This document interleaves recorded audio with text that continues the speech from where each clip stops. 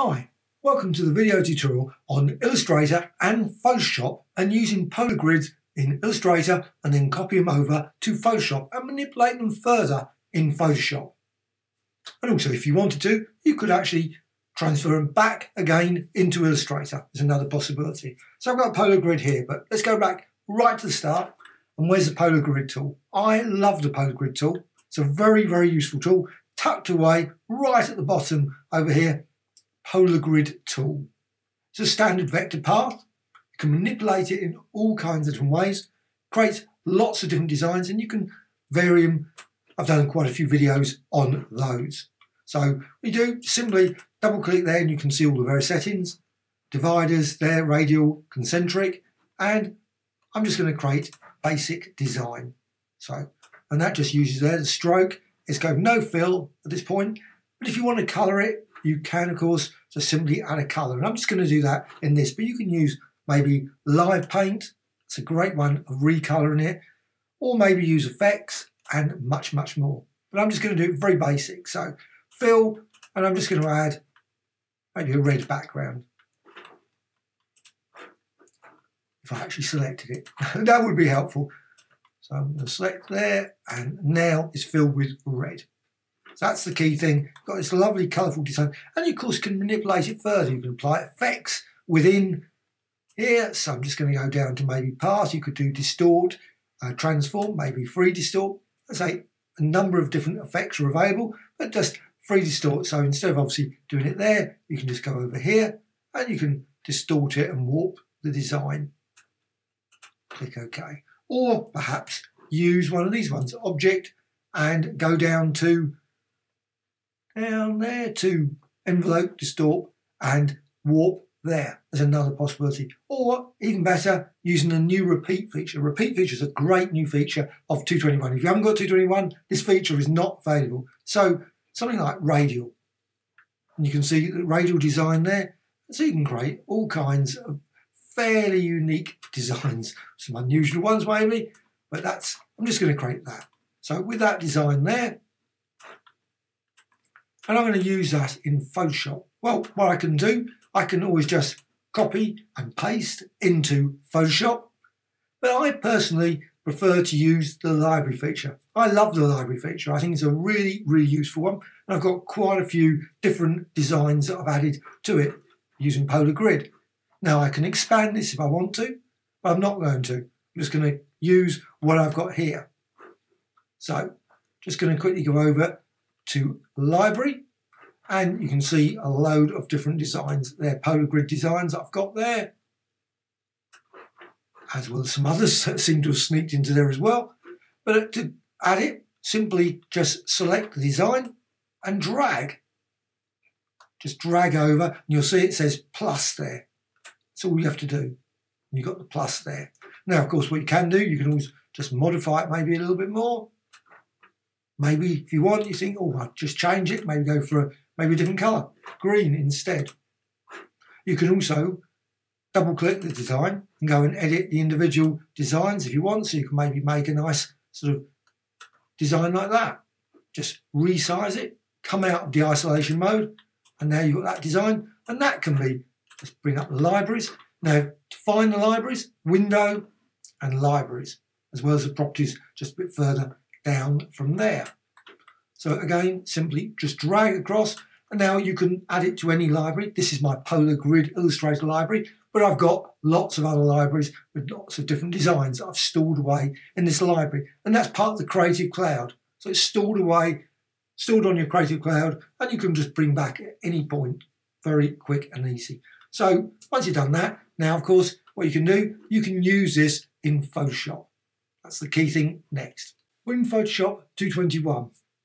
Now you might have 220, 219, etc. And it should work exactly the same. You've got libraries, long as you've got libraries, that's the key thing, because you might have obviously an old Photoshop that doesn't have libraries. So with libraries, here's the libraries here, window and libraries. Obviously I've got layers and I've got properties, etc. They're quite useful. So libraries here, and you can see the designs that I created in Illustrator. You can just hover over there and it will say Illustrator, type Illustrator, type Illustrator, type Illustrator. That's where it comes from. Now, of course, this could have been any design. This could have been one of the rectangular grids. This could be a circular design. All types of paths could be used in exactly the same way. So what you can do, you can drag. So you can just drag over there and you can then see the design there. And you will notice that they're slightly different. If you go to layers, you'll notice a little cloud there. That's, so it's part of the cloud. It's linked. It's linked in the way back to the Illustrator copy. So any changes you do somewhere else, that is the sole copy. That's the key one. So change here, change everywhere. Now what you can also do, you've got Smart Objects one as well. So what you can do, I'm just going to go back to the library and I, am going to use this one now.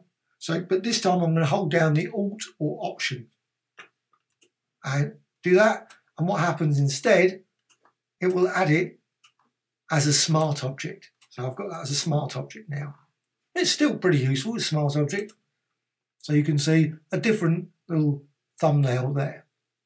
Also what you can do, if you don't want that, of course, you can, I'm just going to drag the other one over. So I'm just going to go for this one. And I'm just going to drag it over normally. Got the design there. Of course, that would be part of the cloud. And what you can do, you can rasterize it. So if you just want to, now make it as big as possible, because if you don't want, you might not want to, uh, so if you go massive, it means if you desize it again, then it's not so bad as obviously creating something very small and then make it massive because it will degrade. So key thing is go to layer and then you can rasterize it if you want to. So rasterize that or just rasterize the layer. So you've got now just a standard normal layer. So if you go to layers, you can see it. There's no smart object. There's no there. Now you might not want that. You might want it. I first, personally, I prefer it as a smart object. Smart objects are always, I'm always happiest with. So I'm just going to work from the smart object one. I just wanted to show you the different things. So this design, I'm just going to remove that now. So we're going to go back again and simply just go to this one. This is the one I'm going to use, but hold down the Alt or Option. It's on the keyboard. Normally near the uh, Command or the Control or something. Quite often it's all over the place. So just drag that over. And again, it's a smart object.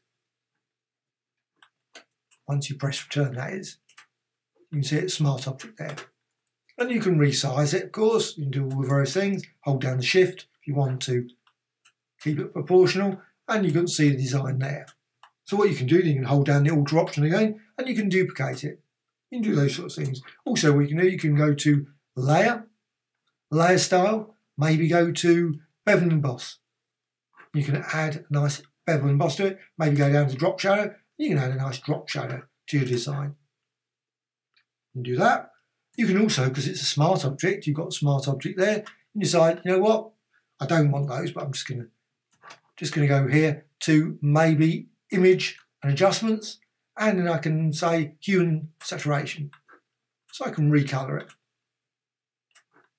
So I just quickly, and you'll see then you've got your artwork 42, you've got your smart filters there, calls it a smart filter. Basically, I always call it smart adjustment, but it's a smart filter. It's under there. You can always remove if you want.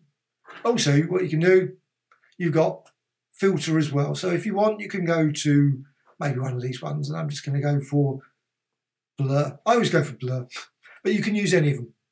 Any of them, but it's blur is just, just as easy. So you can just quickly blur the design there.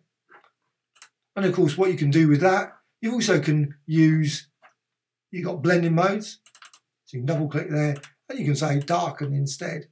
And you can get that sort of nice smudged effect around that. overlay. For exclusion and so on and so on. So you can create a variety of different designs. And if you want, you can always remove the blur very quickly by just clicking the little thing or just deleting it. You can delete it as well. And you can also distort this as well. However, one thing you can't do when it's a smart object is that you can't go here, say like the smudge tool.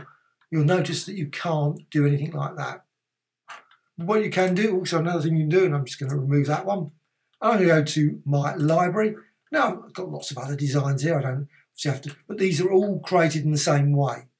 These are all artwork designs that were polar grid designs that are filled with different colours using maybe see added colour there. Live paint. And you can resize it and you've got that design there. And again, if you go back to layers, you'll notice it's part of the cloud. Again, you might not want that. You may or may not. I don't mind, but I'm just gonna just gonna work with this. I'm just gonna add some. It's still basically a smart object. So what you can do, you can go to filters and you can use various things like maybe add a lens flare to it. But that's just added to there. The underlying design is still untouched. So the polar grid is still as before. So if you just want to remove it, simply click there. But it's just been layered on. And also you can do exactly the same as before. Image, adjustments, and hue and saturation, or one or the other, or maybe invert. So you can invert it. Obviously inverts the whole lot there, but you can so you can do a variety of different designs. But again, layer and layer style. And what you can also do, you can maybe let's just so I change that, resize it, hold down the Alt Option key. Again, just change that. Move that more into the center there. Maybe go to image adjustments and hue and saturation. Let's just color it, change the color so it becomes more green there. Select both of them. You've got both selected there. What you can do is you can go to a layer and you can go to smart objects, convert to a smart object. So the whole thing is a smart object. So you've got create all kinds of different polar grid designs using this. And as I say, it doesn't have to be a polar grid. This can be any object from Illustrator as well. And then what you can do, you can also go to filters and you've obviously got your neural filters. Some probably work well with it. But also you've got filter gallery. Just select one of the filter gallery and you can quickly apply maybe effect like that. Sketches or bas relief, half tone, plaster, and that of course depends on the colours here. That's the key thing. So if you've got different colours, that would have been a different response there. And of course what you can do again, exactly the same as before, hold down the Alt or Option key and duplicate the design. Now this design, this these, this polar grid is still editable. You can still go back into Illustrator and you can edit it and any changes will be reflected here as well. I'm not going to do that, but you could do it if you wanted to and you can change these settings, these values at any point. So if you decide, you know what, I don't want that one, I can remove that, but I can always go and change the colour here. Let's go and make it purple, darker, maybe a yellow. So you've got yellow there. Then I can go to filter and filter gallery again. Let's quickly apply it. Click OK. And you can see the design there. And that's added to that. Select both of them again. And you can go to layer and smart objects and convert to smart object. So it's all one smart object. And at all points, this is still all editable. So you can double click into this, change things, double click, double click, all the way through back to the Illustrator design, which you can then manipulate. And then all of that will be reflected in the design at the end. Well, hope you found this tutorial of interest. Always adding new tutorials every couple of days, so please subscribe to the Graphicxtras channel also, I have tutorials for Photoshop, Illustrator, Krita, Affinity Photo, Affinity Designer, Publisher, Painter, and many others. Also, please add some comments. Any sort of issues you've maybe I went too fast, maybe I didn't explain something very well, quite possible. And also uh, a dislike or like. Always appreciated. Thank you much.